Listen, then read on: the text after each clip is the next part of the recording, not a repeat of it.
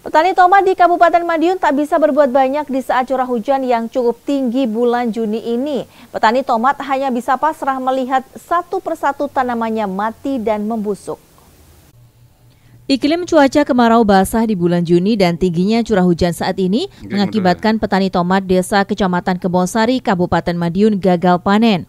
Hal itu mengakibatkan serangan hama dan penyakit menyerang tanaman tomat yang berusia sekitar dua setengah bulan. Padahal para petani pada pekan depan akan mulai memanen tomat.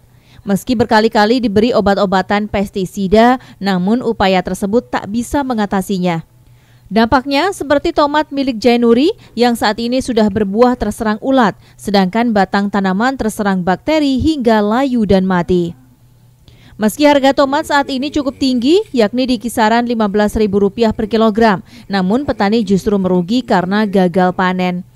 Pada musim tanam sebelumnya, dari seribu benih tomat yang ditanam mampu menghasilkan tiga kuintal tomat. Kini Jainuri hanya mampu memanen kurang dari satu kuintal tomat. Oh, banyak yang layu, yang layu itu namanya virus nafusarium. Itu virus akar yang diserang.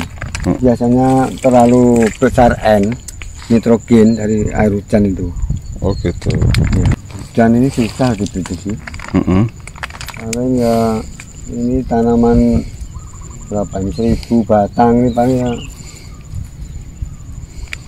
nggak ada satu kental kalau cuaca bagus biasanya satu ribu itu ada dua kental tiga kental Petani berharap pemerintah daerah turun untuk membantu kaum petani yang kini dirundung kerugian, sehingga petani tidak kapok menanam tomat ke depannya.